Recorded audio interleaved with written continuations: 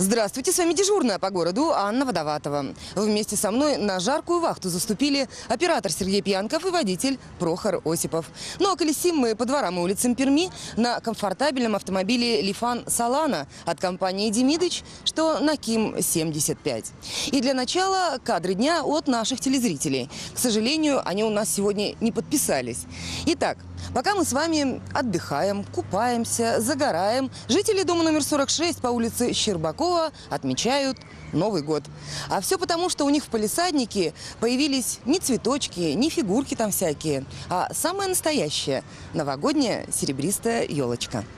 А вот следующая история вполне летняя. В минувшую субботу в Палазне один из автомобилистов не справился с управлением, и его машина оказалась в речке.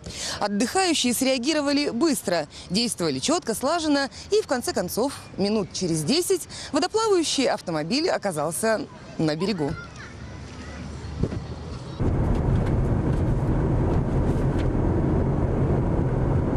Очень бы нам хотелось сейчас узнать, почему строители, которые ведут ремонт фасада 74-го дома по улице Екатерининской, так не любят природу. Ну, мы понимаем, что в таком деле без строительных лесов никак не обойтись. Но зачем же нужно было доски гвоздями клипом прибивать? к живым, красивым деревьям огромными железными гвоздями. В общем, как это у нас частенько бывает, одно лечит, а другое калечит.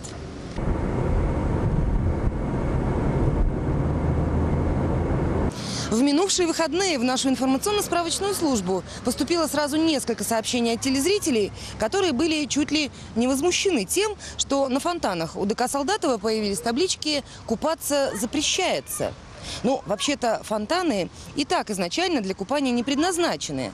И не только потому, что вода техническая для здоровья не полезна, но и потому, что своими телодвижениями купающиеся чаши гидросооружений разрушают. Но речь даже не об этом. Сегодня, когда мы сюда приехали, табличек на фонтанах уже не было. Чем, собственно, и воспользовались местные ребятишки. И тут же устроили массовое купание.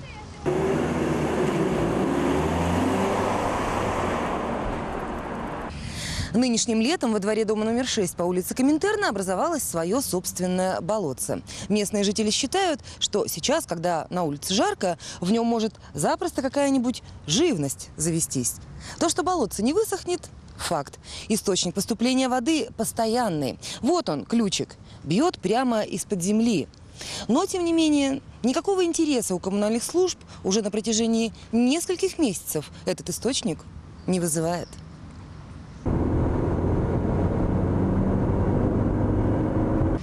Ну и, конечно же, мы не забыли о том, что по понедельникам вручаем подарки за лучшую новость прошлой недели. На этот раз у нас не один, а сразу много победителей.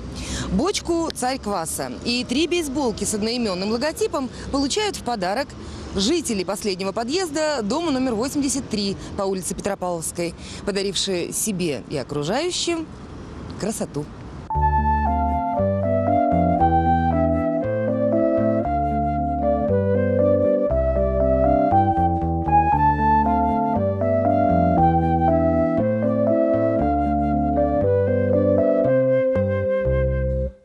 Наш конкурс тем временем продолжается. Так что, если вдруг прямо на ваших глазах произойдет что-нибудь необычное, интересное или забавное, тут же звоните в информационно-справочную службу дежурный по городу по телефону 2 630 300. И на этом заканчивает свою работу дежурная бригада в составе Анны Водоватовой, Сергея Пьянкова и Прохора Осипова. Поменьше вам разочарований и побольше хороших новостей. Удачи и до скорой встречи!